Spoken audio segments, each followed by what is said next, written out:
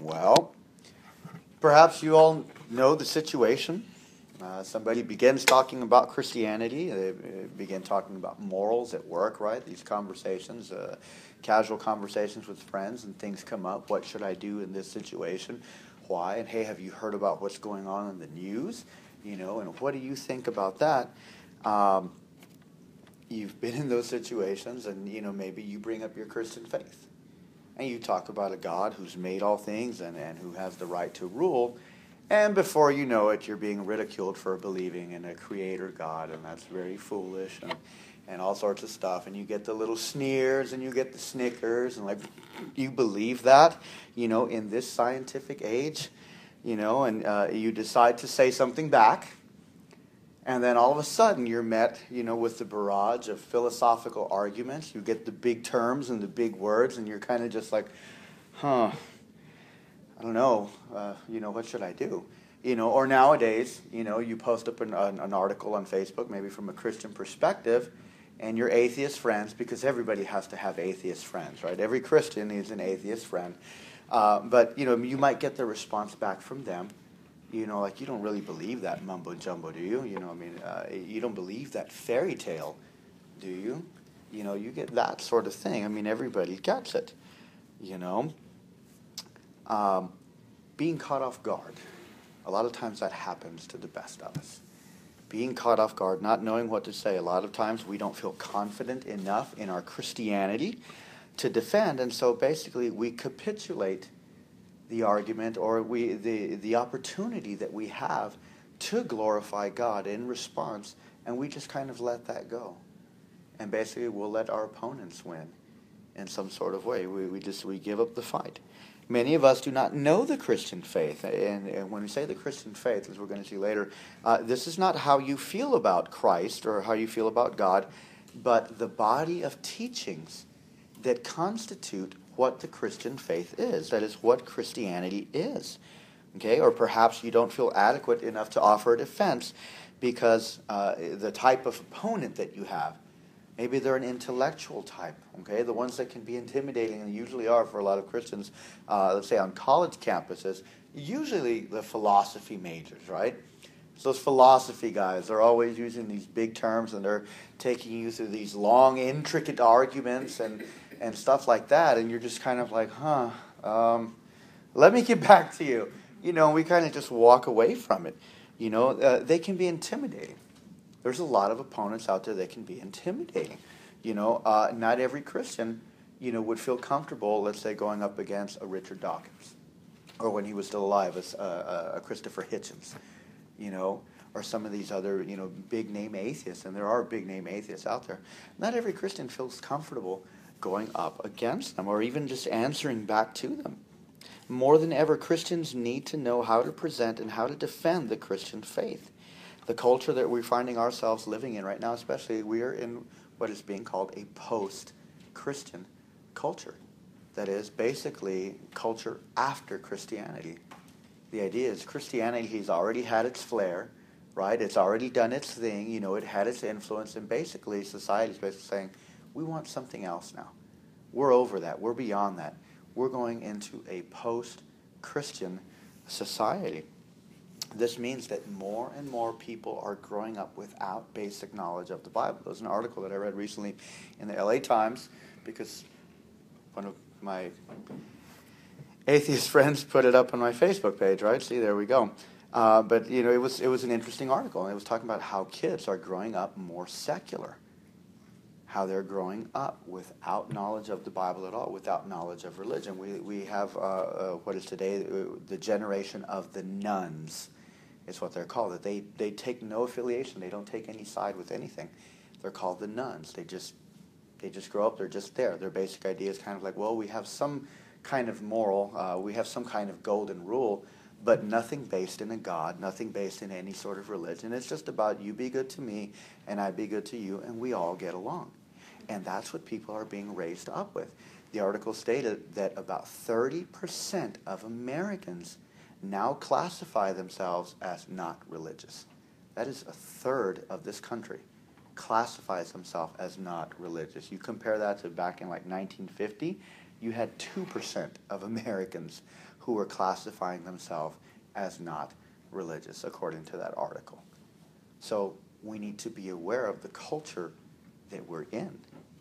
We can't assume anymore that people just know the Ten Commandments. You can't just go out and evangelize and, you know, hey, God says you're a sinner, you know, or if you had to die, if you died today, you know, what would you say to God if He asked you how to get into His heaven? Those don't work anymore because a lot of those old evangelism techniques, those, those old, in a sense, apologetic methods, at least the people you were speaking to grew up hearing the Bible in home, you know, but we can't assume that anymore now. So society is really changing. We're finding ourselves in a more secular, a more pagan, and a pluralistic society that is becoming more and more hostile to Christianity. So, uh, we really need to know how to defend the faith. Because if you're living in a country where, where a third of the people are claiming to be not religious, that means a third of the people are already going to have a lot of questions, or they're going to they're going to mock you, or they're just going to you know write you off, something. Okay. So this first study, okay, we're going to give a brief introduction uh, to what the nature of apologetics is. Okay, it's basically going to be kind of like a defining class. We're just going to define what apologetics is. So basically, our, our outline structure is this. Okay, we're going to start by first defining what apologetics is not. Okay? What apologetics is not. Then we'll get into what apologetics is. Okay? And finally, and hopefully this is the gist of where I'm going to try to convince you tonight, right? Finally, we're going to uh, I'm going to give you guys some reasons, okay, why every Christian, okay, should do apologetics. Why every Christian should do apologetics. And I will expand on that next week too. So let's begin with what apologetics is not. Okay, number one, let me state the obvious, right? Apologetics is not uh, apologizing for your Christian faith. Oh, oh, oh, you're a Christian? Yeah, yes. I'm sorry. I'm sorry. I, I didn't mean to didn't mean to offend you for being Christian. I'm sorry. That is not apologetics. Okay, uh, but it kind of sounds, you know, uh, I guess a little weird putting it that way. Like, okay, that's very obvious, but there are some Christians who do, in a sense, apologize for their Christianity in that sort of way. Here's what I mean. When, when given, in a sense, or, or when, when, uh, uh, when presented with, with uh, I guess, what we'll call the theological sneer, right? You don't really believe that stuff, do you? There are Christians out there who will go, well, maybe it doesn't really say that. You know, we can. Um, and what they do is they sort of tone down what the Bible says or deny what the Bible says so that they can present a Jesus that's more appealing to the person who's asking. Okay? So, in one sense, that's sort of a way of them trying to win over or defend Christianity by redefining Christianity because, in a sense, they're, they really are apologizing that the gospel is so offensive and they try to take away the offense of the gospel.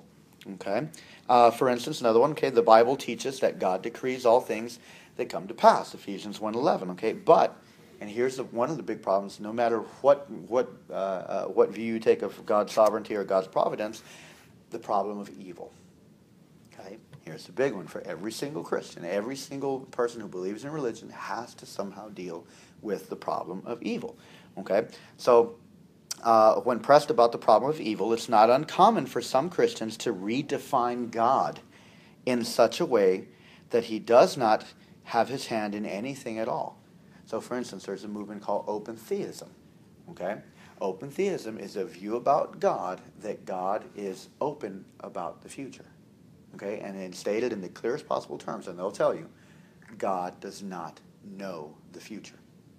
The only thing God perfectly knows is the past. He's learning the present, and the future is completely open. And so, what this kind of theology has done is basically redefined God so that we can have a view of evil and an answer to the problem of evil that is satisfactory somewhat to us. Does that really satisfy the problem of evil? No, it starts to raise more questions. It starts like, well, so you're telling me that we have a God you know, who, while he's apparently very compassionate and comes alongside of us so much, you know, but he's really can't do anything for us then because we're the ones teaching him about the present and he has no he can't guarantee the future to anybody. And in a sense that kind of has been you know you know that approach in theology and it's more modern within the last like 30 to 40 years has kind of capitulated to basically the arguments presented by atheistic philosophers they can't believe and they refuse to believe in a god who would decree even the death of his own son on a cross because of how offensive that that sounds. And so, the, you know, you can see there's these, there's this, uh, there's this capitulating to them, like, well, how can we make them happy so that Jesus, you know, is more appealing? And no matter what you do, I mean, if you cave, they're still not going to convert. You know, you, you can you can make God a sweet teddy bear for them, and they still won't convert. you know, so uh, that happens, okay? So the Christian faith is not defended when it is accommodated so as not to be offensive to unbelievers. As Christians, we should settle within ourselves. And we should know, because we were unbelievers, right? The gospel is offensive.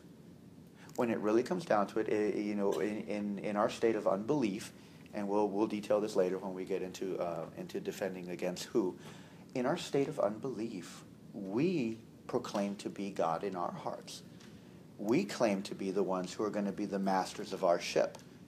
And so when God comes around, a God who says, I created the world, I created you, you owe me, that's offensive. When God calls us sinners, that's offensive to sinners. And uh, we've talked about this in other studies. Our inner lawyer comes out, right? We're all our best lawyer. I'm not a sinner, God. If you would have been in my shoes, you know, well, you don't know the temptation I went through. And we start reasoning away our own sin we start explaining our sinfulness as if we're going to get off the hook. Our natural state, the natural state of unbelief, is autonomy, that we are a self law. We define our own morals. We define what makes us good. I mean, we all do it, right? We all have our little standards in our own brain. We're like, if I just do this, I'm a good person. As long as I'm doing this and not that, I'm a good person. We do that. We do that. I mean, the, the gospel in this way the gospel is offensive. The God of the Bible is offensive. That's why the surrounding nations would always make up their own gods that were just like them. Would that include like following also the law of the land in terms of being an abiding citizen?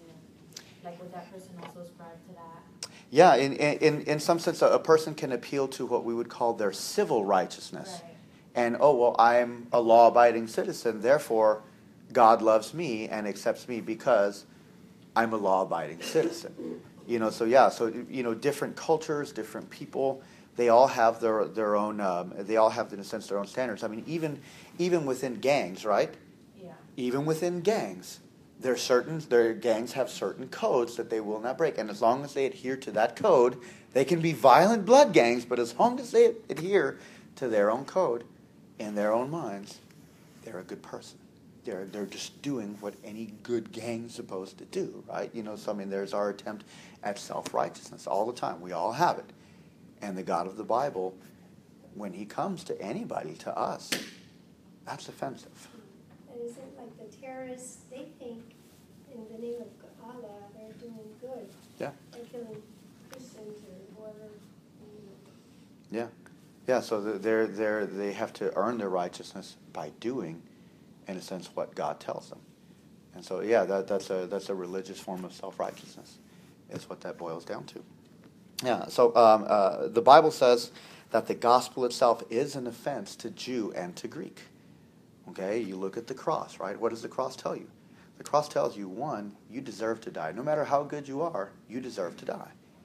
If Jesus had to die on the cross, you could never have been good enough, and so Jesus had to come and then you know it's offensive. It, uh, it's got offenses the other way, right? You know, you're so bad, Jesus had to die. So think about it. The gospel cuts both ways. You're not good enough, Jesus had to die. You know, you're so bad that Jesus had to die. it cuts both ways. It, it offends the religious and the irreligious.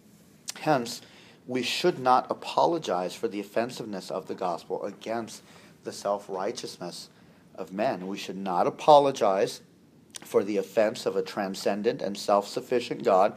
We'll talk about those terms later. I'm just going to use them now, okay? We should not apologize for the offense of the cross. We should not apologize basically for a God who really is God and who does judge sinners. We should not apologize for a God who makes absolute moral claims over his creatures. We should never back down from that. When we do, we are no longer defending Christianity.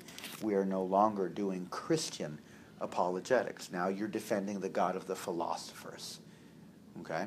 And Christ said right about um, if you deny me before such a hard passage to Yeah.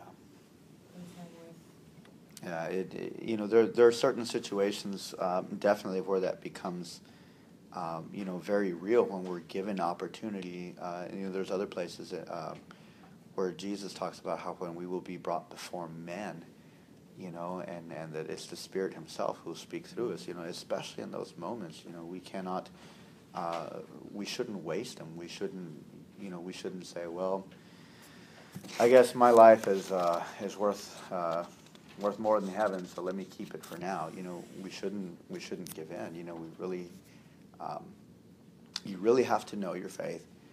You really have to be in love with Jesus to speak up, you know, in a sense, to speak up for him, you know, and to speak with him. Because also, if the Spirit's speaking through us, we're speaking, in, in a sense, it's the Spirit speaking through us and with us. You know, so we don't want to we don't want to capitulate there. So apologetics is not apologizing for the offense of the Christian faith.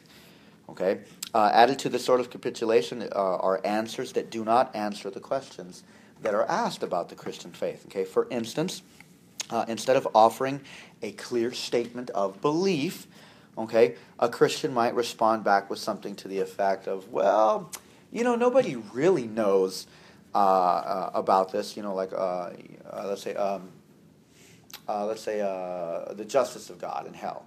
You know, there's a big one. You know, there's another one, right? Get into that one later. But you know, okay, the justice of God in hell.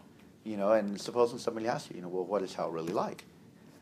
Ah, well, um, you know, I'm not really sure if it's if, if they actually go through eternal punishment or if they kind of cease to exist after a certain point or or if it's just a metaphor, you know, and it's like kind of not being clear is also another way that we capitulate or that we kind of apologize and kind of like, well, let me let me shy myself away from this. You know, like I don't, I don't want to answer the question. I don't want to uh, I don't want to offend them or, or, or push them away. Instead of just being clear, like, well, this is what the Bible says.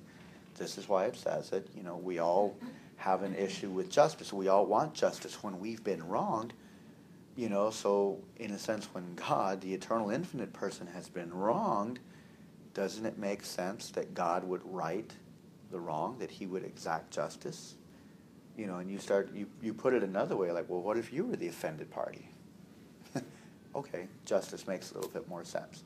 We just don't like it because we're the guilty party, you know. But I mean, this is where you extend the gospel out in there too. So, um, so you don't want to offer, in a sense, just options for them to pick. You know, well, was Jesus God and man? Well, the options are that he was uh, he was uh, fully God, but he only uh, looked like a man, or he was fully God and part of him became a man, or you know, you don't want to give them options. You want to tell them this is Christianity. Jesus is both God and man. I don't know. I can't explain the hypostatic union, or you know, big fancy theological word, but both are true. Jesus is both God and man. I'm not going to apologize it. I don't have to explain it to you. This is what we're required to believe. This is what the Bible teaches. Okay, so hence we should not seek to make our faith more acceptable in order uh, for it to be believed by reducing its offense or its teaching uh, uh, to what some com- uh, some have called a mere Christianity. Okay, and you know, obvious reference to C.S. Lewis's book.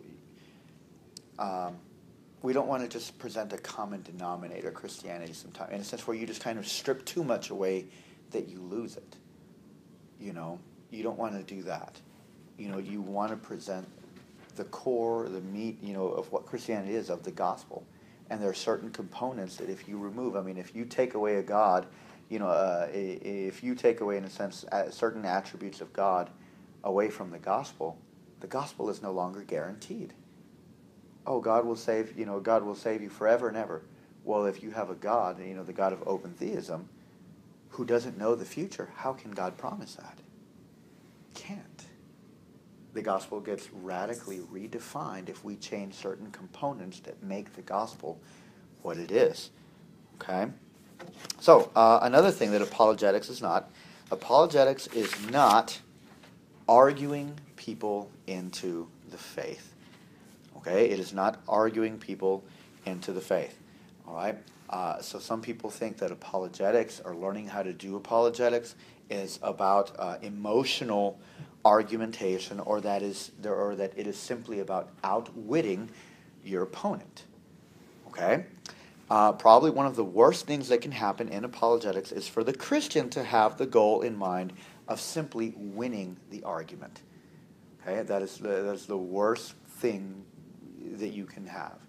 Okay, basically, you look at your opponent and they're nothing but a notch under your belt. Okay, or you're just out there basically for your own glory, to show everybody how smart you are and, and how uh, how witty you are and how you can uh, articulate the faith and do all that kind of stuff like that. That is not apologetics. That is showboating. Okay? Our, our goal is not about winning, it's about witness. Okay? Our goal is not necessarily winning, it is about witness. And so here I'll take the example of Christ. Okay? Christ, when he lived his life, by all, by all appearances, he lost, right? He lost to the Jews, he lost to the Romans, he went to the cross, and he died. But what did he do? He witnessed that his father was more important than the glory of getting an earthly kingdom right then and there, right? He witnessed against Satan and the temptation. He witnessed to the Jews and even to the Romans that glorifying God was more important. And sometimes that might be, or that might mean losing. Okay? It's okay, you know, once hopefully once you guys get the hang of this, or even if you guys already in a sense do get into these discussions, it's okay to walk away and not having shattered your opponent. That's okay. Okay? That's so that's perfectly fine. That actually might be a little bit better, okay? You don't want to do that. You might harden them in their unbelief. Okay? It's okay to have an apparent loss as long as you witnessed to God witnessed to Jesus Christ. From there, what they do with that witness, that's part of their, their business between them and God. Okay? Uh, one of the things that we need to see about fallen human nature, okay, also is that, uh, that the nature of those whom we're doing apologetics against, and it's our nature outside of Christ, is that it takes more than a valid and sound argument for a person to believe the gospel. We are so dead in trespasses and sins that God himself has to bring us to life. What does Ephesians 2, you know, 1 through 3 say? And you who are dead in trespasses and sins, God made alive. Okay? So we cannot do that. We cannot make them alive. If, if it was logic and reasoning and stuff like that that could bring a dead sinner to life, okay, you know, the church has some very good logicians and some very good, you know, systematic theologians and stuff in its history. Boy, the more of the world should be Christian. But it, it takes more than that. It takes more than an argument to bring a dead heart to life. God has to impart life. What did Jesus say? You cannot see the kingdom of God unless you're born again. You cannot enter into the kingdom of God unless you are born again. Okay? Winning a debate winning an argument is not how you bring regeneration to somebody. Okay? So that, that needs to be clear, okay? Think about the times that uh, also too in the Bible when people witness miracles, right? I mean, if you were if you were there when Moses, you know, parted the Red Sea, if you were there when Jesus brought Lazarus to life, you know, we it's all easy for us to say, right? Oh man, I would have believed right then and there. But we have the same hearts as all the crowd, and what they still doubted. They still didn't believe. You know, they, they walk through parted Red Sea. What more do you want, right? That God is with us. You've got a pillar of fire by night, a pillar of cloud by day leading you, taking you everywhere. and you get to this one mountain, and Moses is gone for a couple of days, and it's like, hey, uh, tired of this place. Let's make our own gods. Aaron, you're going to help us out? And what is Aaron, right? Yeah, hey, bring me your earrings. Let's let's go. Let's do this. You know, and it's like, oh man, how easy it is to fall away. How easy it is, you know, uh, uh, to fall into unbelief. And I mean, even that tells you, even witnessing a miracle is not enough to change a stony heart. It really does take an act of God on their heart. So we need to keep that in mind you don't want to beat the bloody, you know, you don't want to beat them into a bloody pulp, into, you know, using your intellectual prowess or whatever, you're just, you know, yelling and screaming or anything like that, or your emotions. That's not going to change them. Okay? Um, hence, so this course, you know, it's not going to teach you any pithy sayings or witty remarks that you can use to win arguments. Okay, that's not going to be the goal of this. I'm not going to give you a standard remark. Well, when somebody says this, well, just always use this you know, so you're not going to get that, okay, at all from this, okay? So it needs to be settled right now uh, that uh, nobody here will ever convert anybody to Christianity, okay? Only the Holy Spirit will. Only the Holy Spirit will do that, okay? Um, we need to think, uh, you know, our job is to glorify God, and I'll say more about this in a, in a, in a moment, but our job is to glorify God by being the instruments that He uses to reach unbelievers, okay, to give witness, okay. Uh, we are not the sharp end of the stick, okay. We're the crooked stick that God can still draw a straight line with, okay? Let's all just settle that right now. We're all crooked sticks, but God, in, in His infinite wisdom, can still draw a straight line with a crooked stick, okay? God, the way the Bible puts it, is that God uses the foolish things of this world, right? So even something as, as, as uh, as speaking, as preaching, you know, uh, uh, you know, these things, little conversations.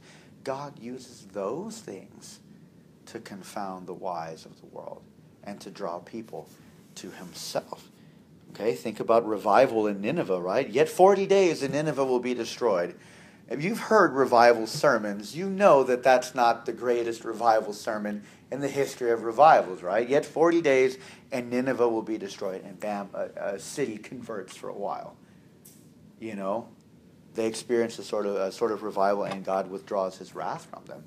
You know, it didn't take much, but God used that, just those little words. That was it. You know, so the Holy Spirit can use the foolish things of this world to confound and to convert those who are wise in their own eyes and he can convert them to true wisdom. So, now that we know what apologetics is not, what is apologetics? Okay, well, apologetics is a reasoned defense of the Christian faith. Okay? Apologetics is a reasoned defense of the Christian faith. Okay? If you look on 1 Peter 3:15, in 1 Peter 3:15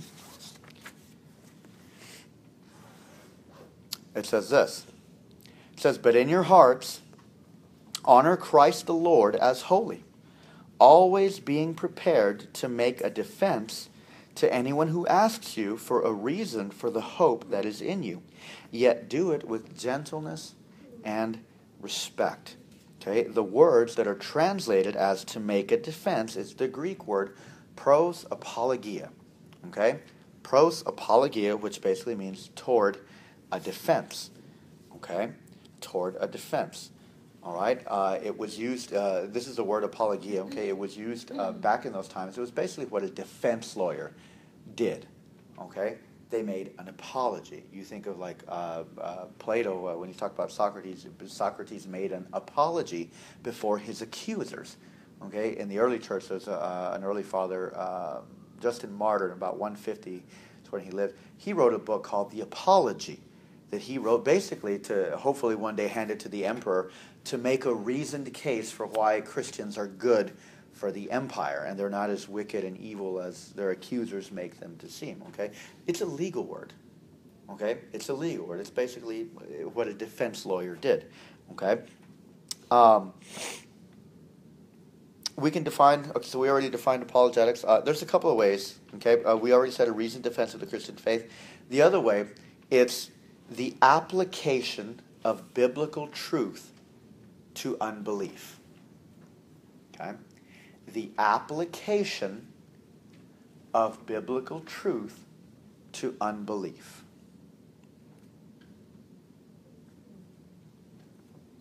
And the third way that I like to define uh, apologetics premeditated evangelism. Premeditated evangelism. Defined that way as premeditated evangelism, and even with, with these other ways, uh, apologetics doesn't sound that bad. It doesn't sound that hard. It doesn't sound that scary. So don't let like the big, you know, thick Josh McDowell books fool you. You know that you have to know all that to do apologetics. No, it helps to know this. Okay, and again, if you don't like big fat books, get a thin line Bible. Okay, that helps a lot. All right. Uh, okay. However, things get tricky. Okay, guys. I mean, I won't. I won't lie. I mean, you know, things can get a little bit tricky, but they don't have to. Uh, when you realize that unbelief comes in many different forms. Okay, so when we talk about apologetics as an application of biblical truth to unbelief, unbelief comes in a lot of different forms. Okay, it comes. Uh, it, it, can come in forms like uh, uh, irreligious forms, like immoral lifestyles. Okay, how would you apply biblical truth to the unbelief of Fifty Shades of Grey?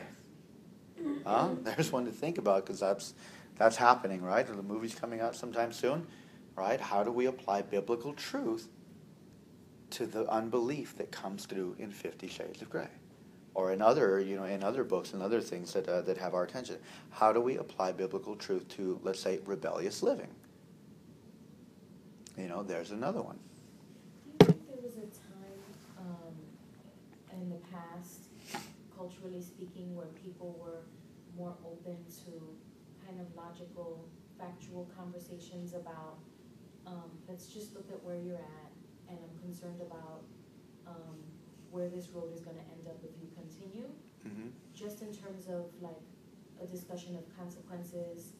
Do you think that we've become, um, second part of my question, because I hear you breathing for a response. Um, do you think we've become so mushy as a culture where everything is about feelings and we don't wanna hurt people's feelings, and so we don't even have those conversations, even amongst believers? Well, part of it, so there was a time when it was like that, when culture, in a, in a sense, when we were more community oriented. What started to change that was what we would call modernism. Modernism started introducing a radical individualism, and we even see it in Christianity. Christianity used to be about community. You know, when you belonged to a church, basically the entire church was your family. But at some point, you know, uh, with the introduction of modernism and the individualism that came out of it, all of a sudden, and I mean, we hear it in evangelicalism, right? We hear it. My relationship with God is my own. And it used to be your relationship with God is our relationship with you. It used to be that way. And so, you know, and the one good thing about the individualism is that it has reminded us that we are supposed to have personal, but it shouldn't just remain individual. We're part of a body, we're part of a community.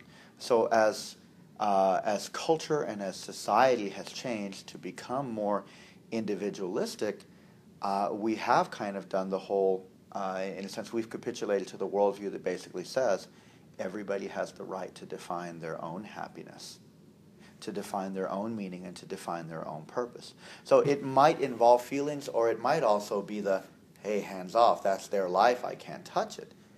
You know, it could have a combination of those things in there.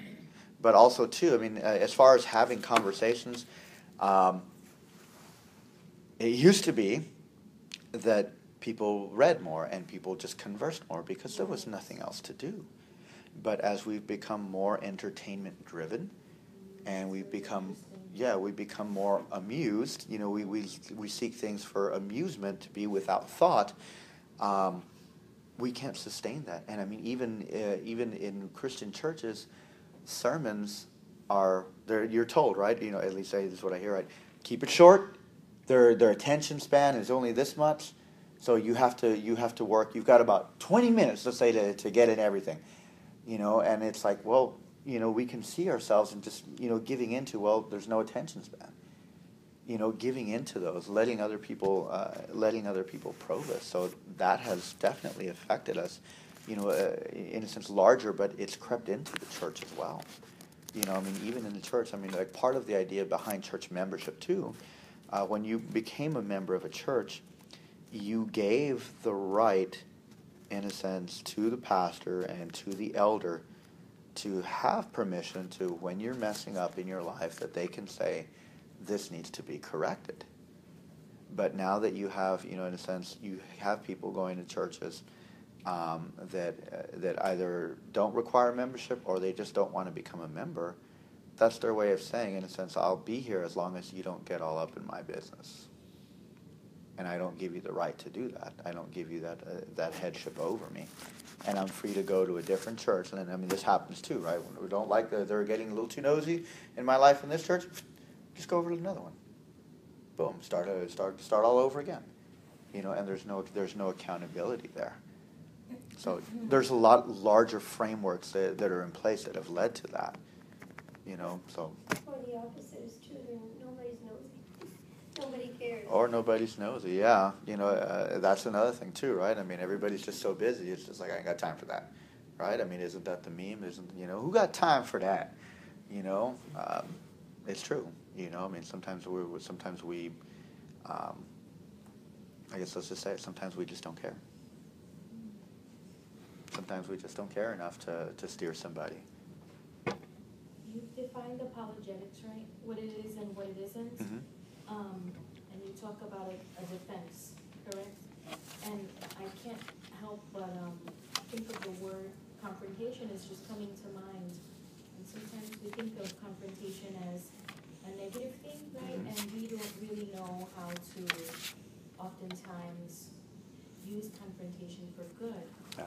But my thoughts are, um, maybe at the end of what you're speaking about as it relates to apologetics, just how we can, um, confront Mhm. one another in love.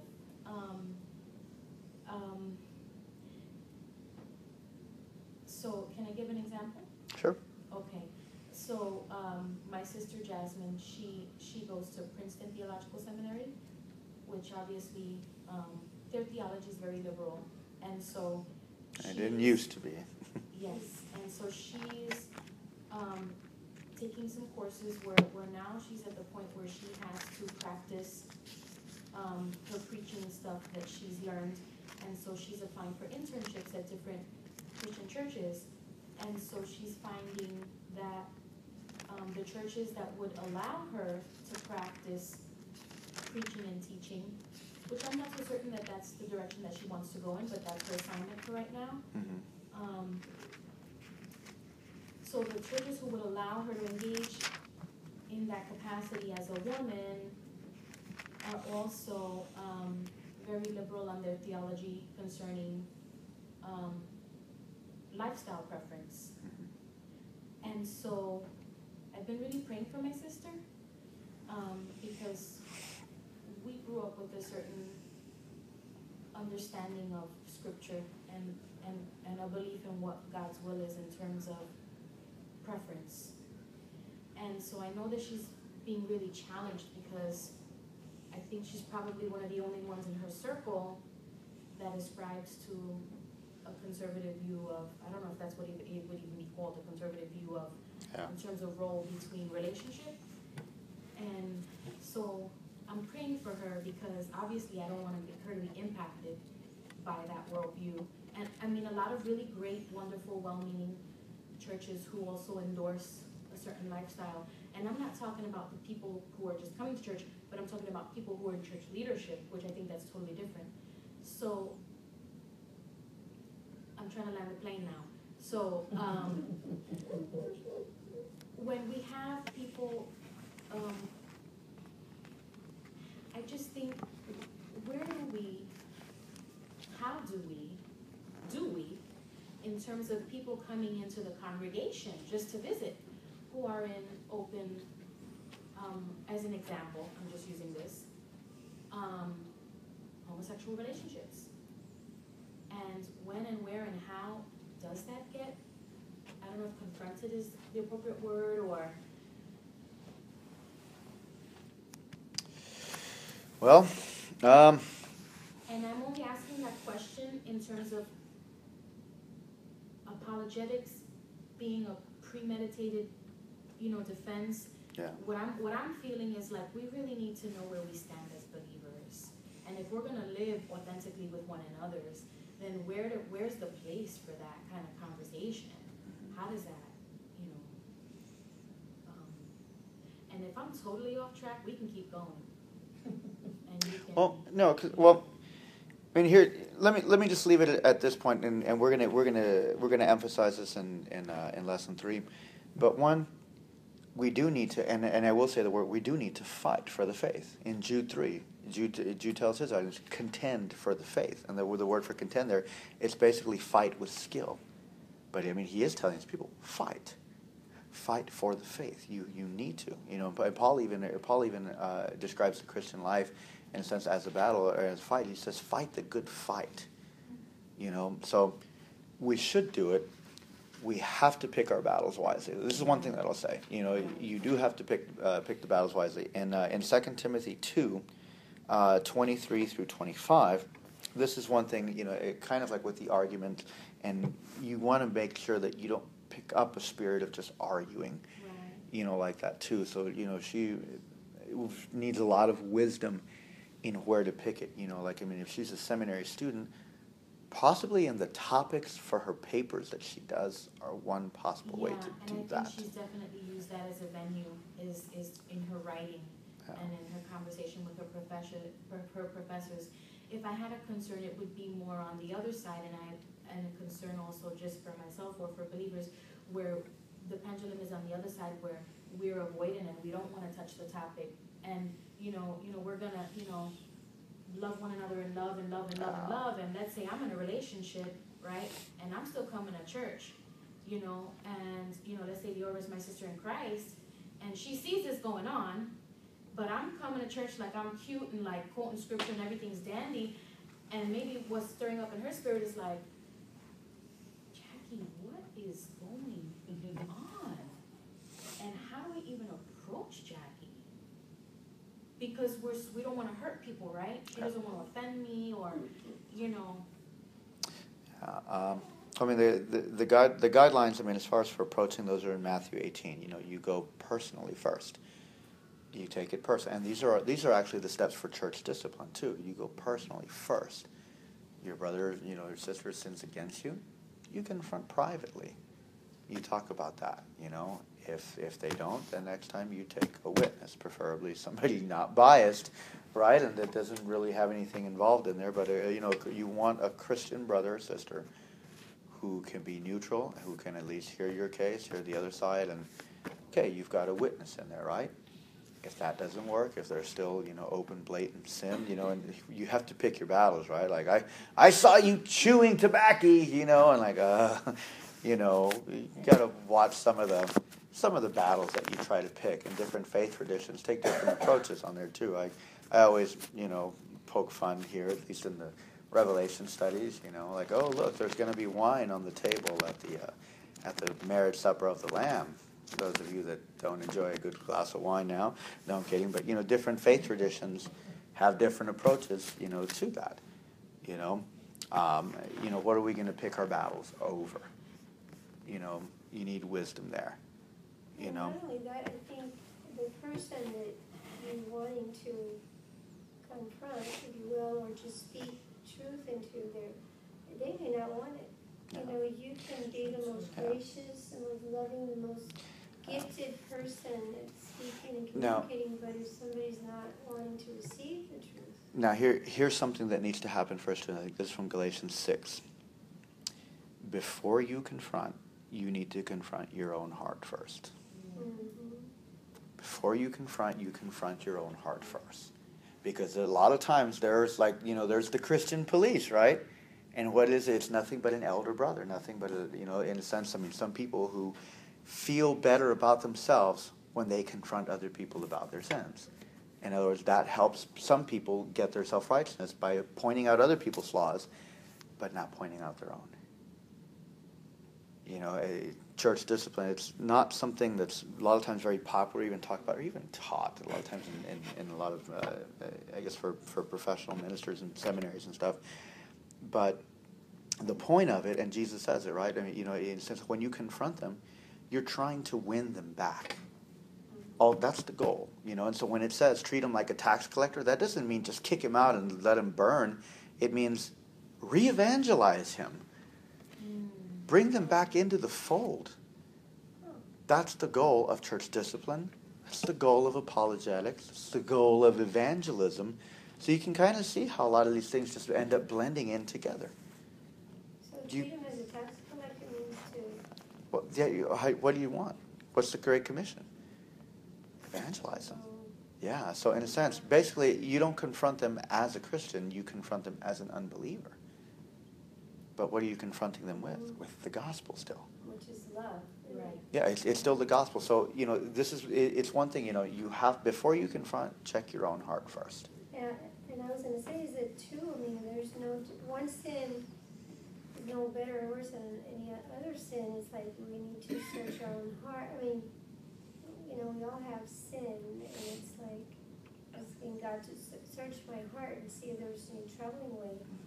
I think only as the Spirit of God leads and me, you know, I mean, the other day I, I was praying for somebody and the Lord is like the Holy Spirit showed me something that, and I think this was from God. He showed me something that concerned, you know, and and uh, I I was able to talk to that person. and They said, yeah, you know, but it was the Holy Spirit that revealed that to me, and it wasn't, you know, it wasn't like trying to find something. It was just something that God showed me. And,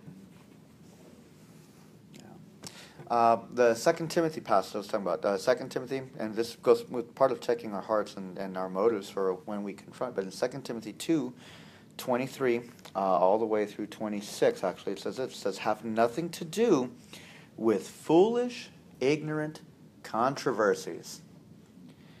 You know that they breed quarrels, and the Lord's servant must not be quarrelsome."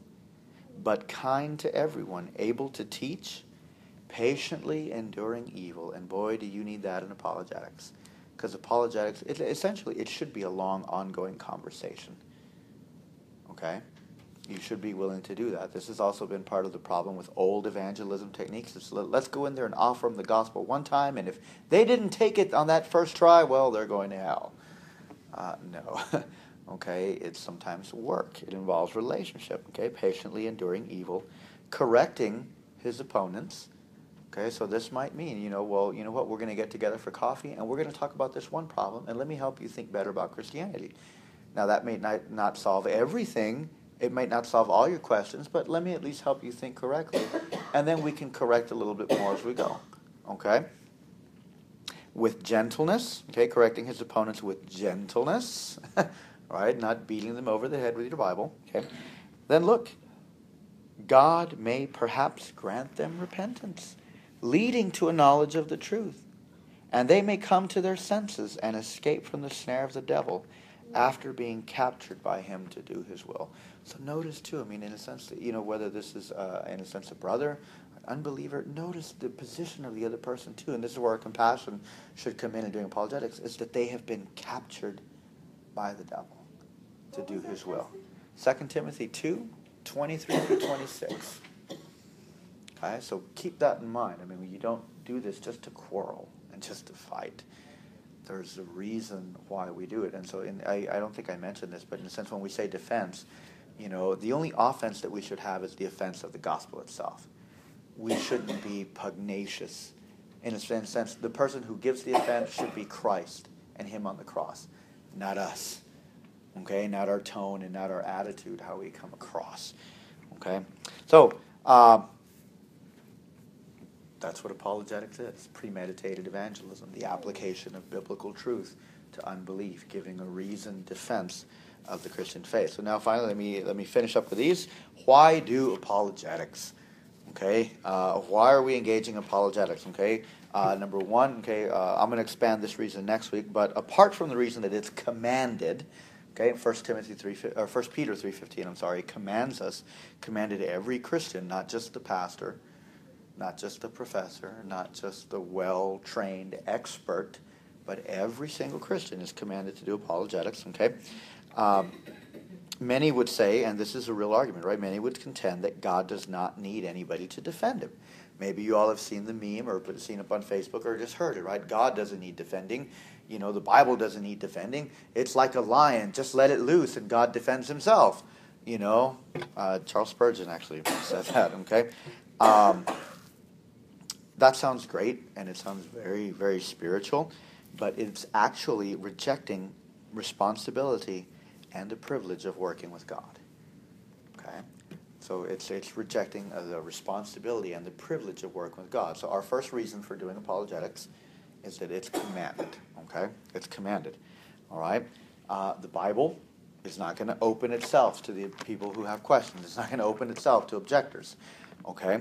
Uh, the Bible is not going to flip its own pages. It's not going to magically start speaking. Rather, the God of the universe, who needs nothing and is not served by the hands of men, he calls us alongside of himself to work with him. God gives us the opportunity to be his mouthpieces. In 2 Corinthians chapter 5, this is Paul, 2 Corinthians chapter 5, verses 11 through 21. Listen to this. Says, Therefore, knowing the fear of the Lord, we persuade others. But what we are is known to God, and I hope it is known also to your conscience. We are not commending ourselves to you again, but giving you cause to boast about us, so that you may be able to answer those who boast about our outward appearance and not about what is in the heart. For if we are beside ourselves, it is for God, and if we are in our right mind, it is for you. For the love of Christ controls us, because we have concluded this that one has died for all, therefore all have died. And he died for all, that those who live might no longer live for themselves, but for him who for their sake died and was raised. From now on, therefore, we regard no one according to the flesh. Even though we once regarded Christ according to the flesh, we regard him thus no longer. Therefore, if anyone is in Christ, he is a new creation. The old has passed away. Behold, the new has come. All this is from God, who through Christ reconciled us to himself and gave us the ministry of reconciliation. That is, in Christ, God was reconciling the world to himself, not counting their trespasses against them, and entrusting to us the message of reconciliation. Therefore, we are ambassadors for Christ. That was not written to the pastors. It was written to an entire church, an entire misbehaving church at that, right? The Corinthians. God making his appeal through us. Right? Hear that again. God making his appeal through us. We implore you, on behalf of Christ, be reconciled to God.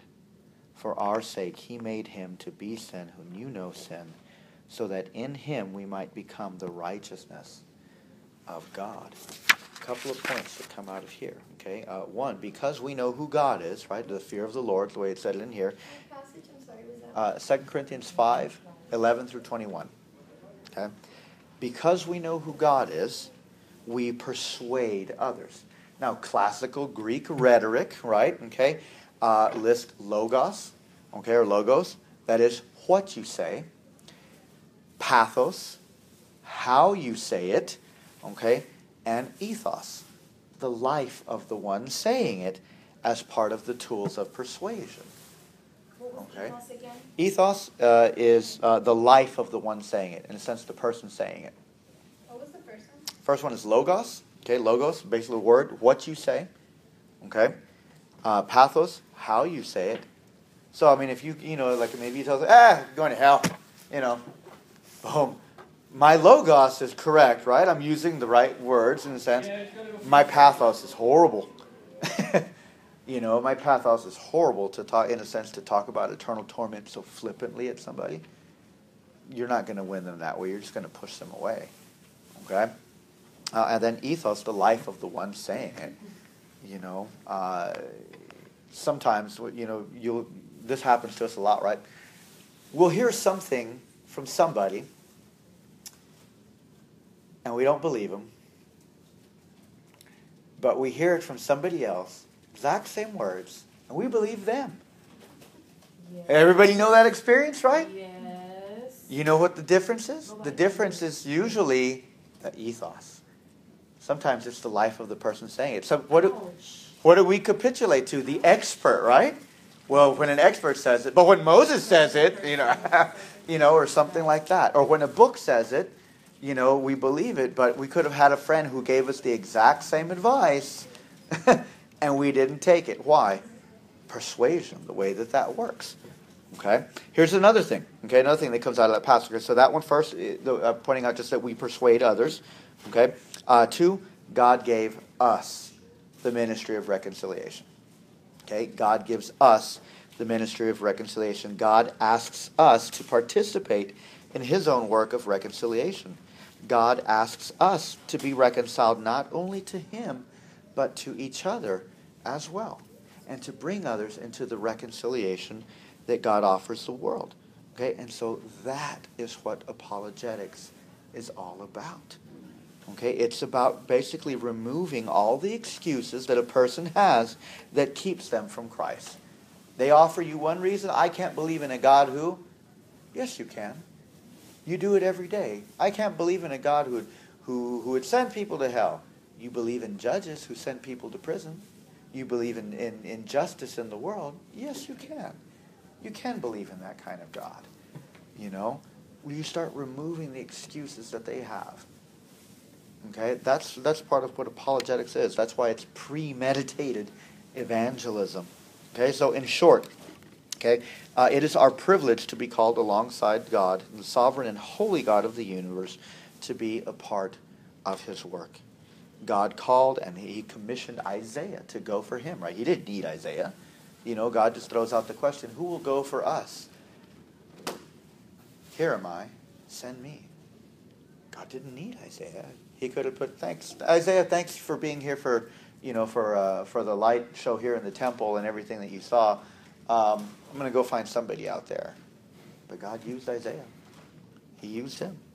God gives us all the privilege of the prophetic work of proclaiming the truth of God. This is part of, in a sense, uh, uh, the promise in uh, in Joel. Your your sons and daughters shall prophesy. Doesn't necessarily mean a, a foretelling of the future but a forthtelling of the Word of God. All of God's people, male and female, sons and daughters, have the privilege of sharing the Word of God. It may not all be in, the, in, a, in a sense in a, the capacity of ordained ministry, but the, the Bible gives every single one of us, not just ordained clergy, that responsibility, that privilege. Okay? This is going to bring us to our third and final reason. So the first reason for apologetics, one, God commands it. And these you can put these as the same reasons for evangelism. Why do evangelism? Because God commands it. Why do apologetics? Because God commands it. Okay? Two, because God privileges us to be to work with him. Okay? And three, to bring glory to God. Okay? To bring glory to God. It is not a small thing. Okay? It is not a small thing to proclaim the truth of God. Boy, does that take courage in this world. And it glorifies God when His truth is preached, when His truth is proclaimed, when His truth is spoken of. That glorifies God. Does that mean winning the argument? Not necessarily. Not necessarily. Sometimes it might it might be like Polycarp, right? Polycarp, will you renounce Jesus.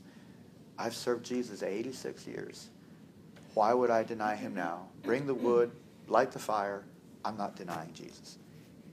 That brings glory to God more than if Polycarp had reasoned, well, let me give you 50 reasons for believing in God or for believing in Jesus.